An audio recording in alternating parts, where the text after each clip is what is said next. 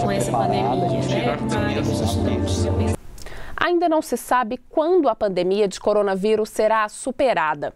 Enquanto cientistas do mundo todo correm contra o tempo no desenvolvimento de uma vacina, especialistas calculam prejuízos e elaboram projeções.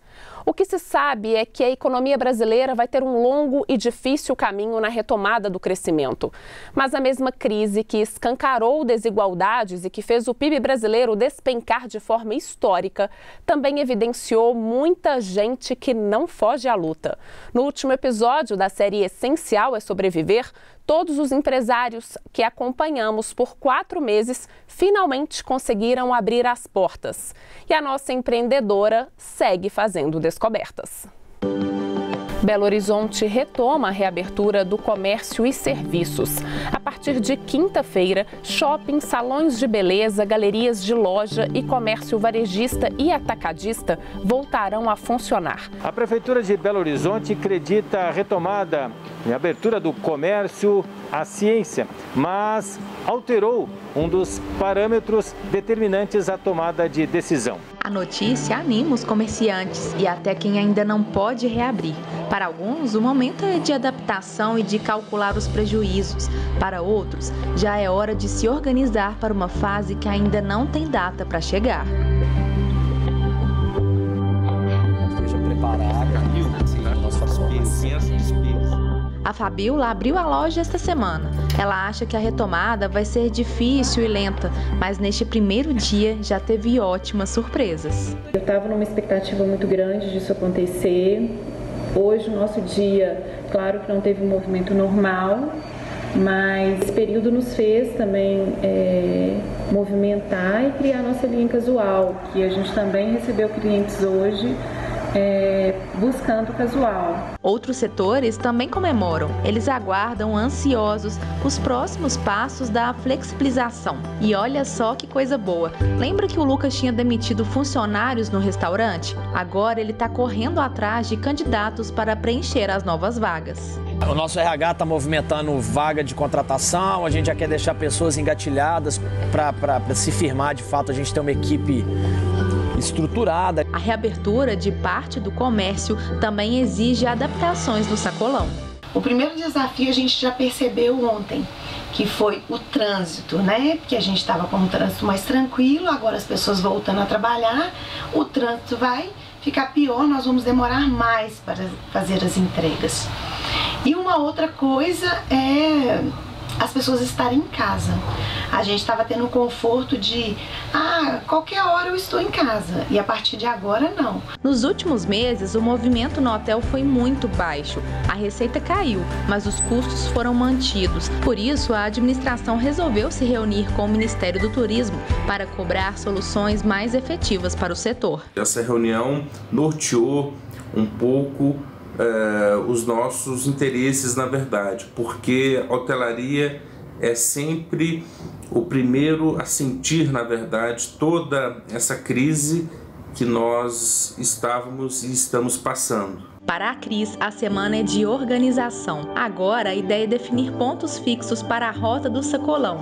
E com o crescimento do negócio, ela precisou de ajuda para controlar o caixa. Nós contratamos um profissional de mini é, pequenas empresas para poder nos orientar, né? Ele nos ensinou a, a, usar o livro caixa, que parece ser meio ultrapassado, mas para quem não sabe fazer nada, ele vai ser o nosso princípio. Abrir as portas já foi um avanço para Fabiola, mas como as peças ainda não podem acontecer, ela precisa pensar em estratégias de aumento de renda o tempo todo. Fiz é, um bazar do vestido, dos vestidos de festa. Eu acho que foi uma, uma estratégia boa para esse período, que eu acho que o momento agora é esse, né? É conseguir sobreviver a isso tudo. No início da pandemia, o Lucas teve uma ideia muito legal: fazer entregas com um drone. Por enquanto, o plano vai ter que ficar para depois. Foi algo que nós fizemos né, com, com um caráter experimental, porque a gente acredita que pode ser uma inovação. A ANAC ainda não permite a utilização de drone para fins comerciais. Mas em breve a gente acredita que vai ser uma alternativa legal Quando a pandemia surgiu, a vida do Alexandre virou de cabeça para baixo. Eu já contei que ele precisou se mudar para o hotel em que trabalha, e essa experiência de lidar com os problemas 24 horas não está sendo fácil. Mas isso tudo trouxe muito crescimento, até para ele que já estava na gerência há tantos anos. Já são quatro meses de pandemia, quatro meses de confinamento meu aqui no hotel, quatro meses de lutas, eu convivi com a dor, com a falta de esperança de alguns colaboradores, convivi com sofrimento de hóspedes com o Covid-19. Deveremos tirar lições realmente para o resto da vida. Nada será como era antes. O Lucas não está perdendo nenhuma oportunidade para recuperar o faturamento. Na última semana, o restaurante participou de um evento tradicional na capital, desta vez pelo delivery. Nessa edição do Minas Mundo foi muito legal. Foi um final de semana onde a gente teve, na sexta-feira, foi o recorde de venda do, do de pedidos nossos no, no delivery. A gente conseguiu divulgar e alavancar bem as vendas dentro da nossa plataforma própria.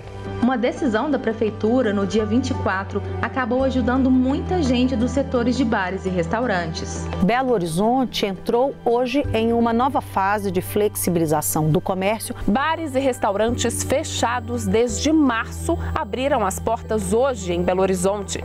Um decreto da prefeitura autorizou o funcionamento apenas no horário de almoço e sem venda de bebidas alcoólicas. Mesmo dia diante da euforia dos donos de restaurantes, para o negócio do Lucas, o anúncio não ocasionou mudanças. De fato, o Campai não funcionava no, no, horário de almoço, a não ser nos finais de semana, mas para a gente ainda era um movimento de experimento, né, de teste.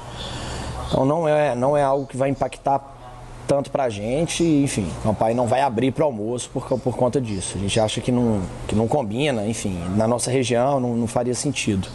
E pelo custo da operação e tal. É, mas já é um, um ânimo, né? um sinal de, de melhoria, um sinal de avanço. Fabiola me contou que aos poucos, aquele baque que ela sentiu em março está dando lugar para outros sentimentos. Mesmo com tanto aperto, a empresária conseguiu passar por esse momento mantendo todos os 12 funcionários da equipe. De verdade, acho que eu consigo até visualizar já a loja cheia de pessoas e, e além de cheia de pessoas, cheia de sonhos. Os pais trazendo uma filha que vai se formar, a filha trazendo uma mãe porque vai se casar. Não foi fácil chegar até aqui, mas chegando chegamos, estamos de portas abertas, com o casual, que é hoje é minha nova paixão. Bom, enfim, eu acho que boas notícias estão por vir. Neste final de mês, mais um anúncio trouxe esperança. A Prefeitura de Belo Horizonte anunciou hoje de manhã a reabertura de alguns setores da economia que estavam impedidos de funcionar desde o início da pandemia. De acordo com a decisão, bares e restaurantes poderão abrir os fins de semana com consumo no local e venda de bebida alcoólica. A liberação para o funcionamento vai acontecer a partir de setembro. Finalmente, o negócio do Lucas ganhou uma previsão de reabertura. Graças a Deus, a expectativa para a gente encher esse espaço aqui é muito grande. Tem muita coisa para arrumar, tem muita coisa para. muito procedimento e muito processo para adequar, mas estão bem animados. Como a Cris diz, ela trocou os meninos pelas frutas. As aulas continuam sem previsão de retorno e ela ainda não sabe o que será do escolar. Todos me perguntam todos os dias: você vai voltar para o escolar? Eu não sei. Era um trabalho que eu amava, que eu amo fazer mas eu não sei como que vai ser a economia quando essas coisas voltar. Por enquanto, essa é a nossa nova realidade, é isso que a gente tem que se adaptar para sobreviver. Pandemia tem tirado vidas e destruído famílias. O comércio e os serviços precisaram parar para que o estrago não fosse maior. Mesmo assim, muitas pessoas fecharam as portas, perderam os empregos, tiveram sonhos arrancados. Não sabemos quando tudo isso vai acabar. De acordo com os especialistas, a economia ainda demora a dar sinais de recuperação. Mas o que eu vi nesses quatro meses foram pessoas que enfrentaram desafios, foram atrás de soluções e não deixaram de acreditar. Até porque essencial é sobreviver. Vamos aproveitar, tem álcool em gel a partir de R$ 2,99 tem o kitzinho de combate ao Covid-19. Álcool em gel mais máscara a partir de R$ 9,00.